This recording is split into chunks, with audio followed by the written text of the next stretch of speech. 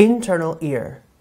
The internal ear is situated in the petrous part of the temporal bone, deep to the tympanic cavity. It is basically a closed system of fluid-filled intercommunicating membranous sacs and ducts which lie within complex intercommunicating bony cavities and canals.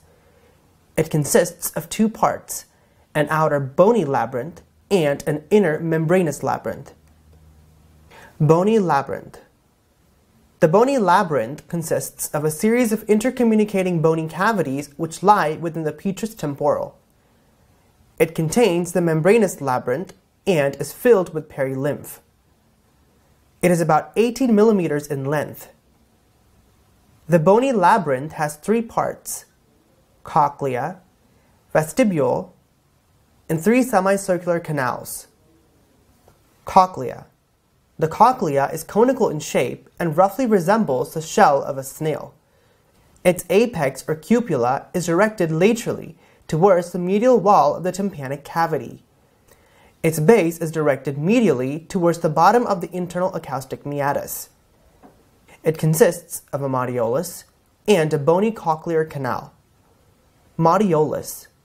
This is an axial bony stalk around which the cochlear canal spirals. It is an elongated cone. The base of the modiolus lies at the fundus of the internal acoustic meatus. The apex is directed towards the middle ear.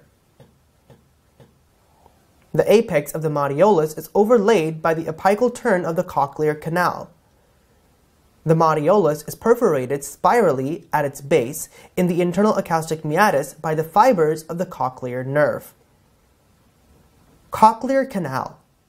It is arranged spirally around the modiolus and makes two and three-fourth turns.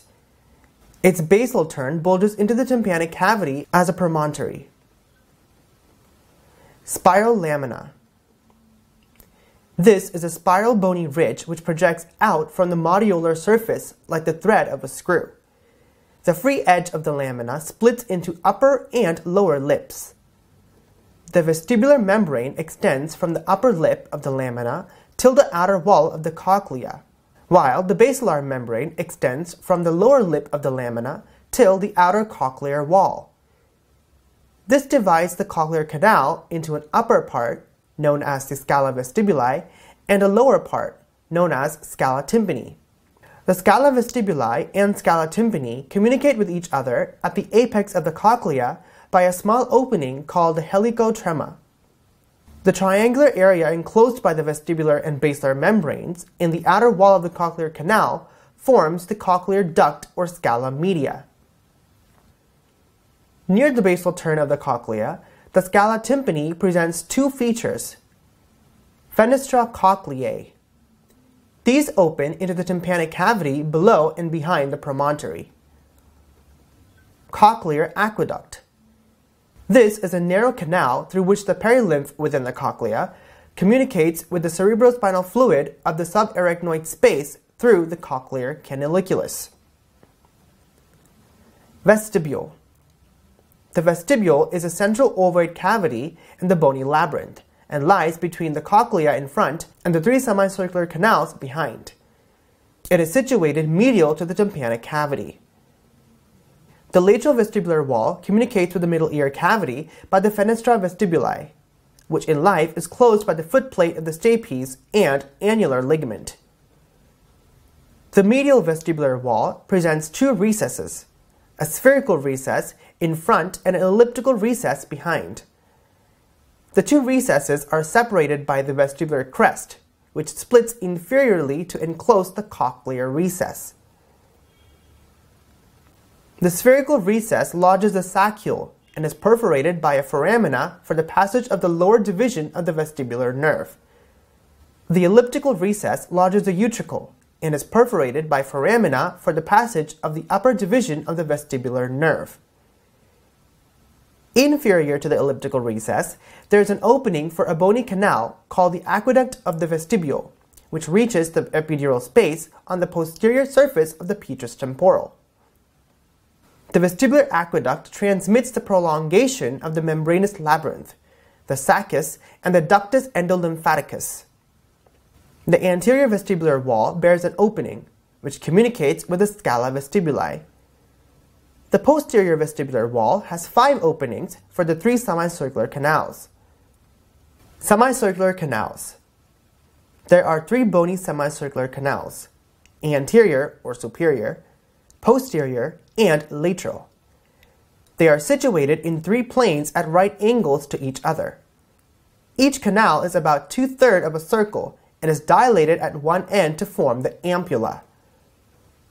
The anterior semicircular canal lies in a vertical plane at a right angle to the long axis of the petrous temporal. Its anterior ampullated end communicates with the vestibule anterolaterally.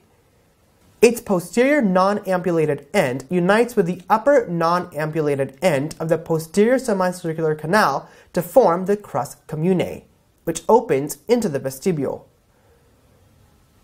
The posterior semicircular canal also lies in a vertical plane parallel to the long axis of the petrous temporal.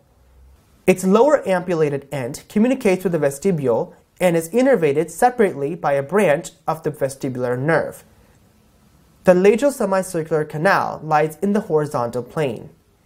Its anterolateral end is ampullated and lies close to the ampullated end of the anterior semicircular canal. Both the ends of this canal open directly into the vestibule. Thus, three semicircular canals open into the vestibule by five openings. Membranous labyrinth.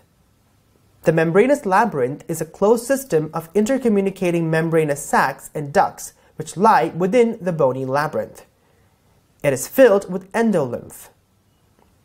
It presents with a cochlear duct, saccule, utricle, and three semicircular ducts. The cochlear duct lies within the bony cochlea. The saccule and utricle lie within the bony vestibule, and the three semicircular ducts lie within the three bony semicircular canals. These four parts are interconnected in the following ways. The basal turn of the cochlear duct is connected to the saccule by the ductus reuniens. The saccule and utricle are connected to each other by Y-shaped utricle-saccular duct, which expands to form ductus and saccus endolymphaticus. The utricle is connected to three semicircular ducts through five openings. The sensations from cristae responsible for kinetic balance, and maculae, responsible for static balance, are carried by the vestibular nerve, while the sensations of hearing from the spiral organ are carried by the cochlear nerve. The cochlear duct is the spiral anterior part of the membranous labyrinth, with two and three-fourth turns. It lies in the middle portion of the cochlear canal, between the scala vestibuli and scala tympani. The cochlear duct contains the spiral organ of Corti, which is a sensory receptor for hearing. The structure of the cochlear duct is best studied in a cross-section of the cochlear canal. Boundaries. The base is formed by the osseous spiral lamina medially and the basilar membrane laterally. The roof is formed by the vestibular or Reissner's membrane, which passes from the upper surface of the spiral lamina to the wall of the cochlea. Laterally, the duct is bounded by the outer wall of the cochlear canal. Spiral organ of Corti. It is a peripheral organ of hearing and is located in the cochlear duct. It is situated on the basilar membrane. The important parts of the organ of Corti are as follows. Tunnel of Corti. It is formed by the inner and outer rod cells. It contains a fluid called corticolymph. The exact function of the rods in corticolymph is unknown. Hair cells. These are receptor cells of hearing, located on the basilar membrane. Their apices possess stereocilia, which are overlaid by the tectorial membrane. The inner cells are flask-shaped and are arranged in a single row while the outer cells are cylindrical and are arranged in three or four rows. When sound vibrations pass from perilymph of the scala vestibuli to the perilymph of the scala tympani, the basilar membrane bulges and the overlying hair cells are stimulated.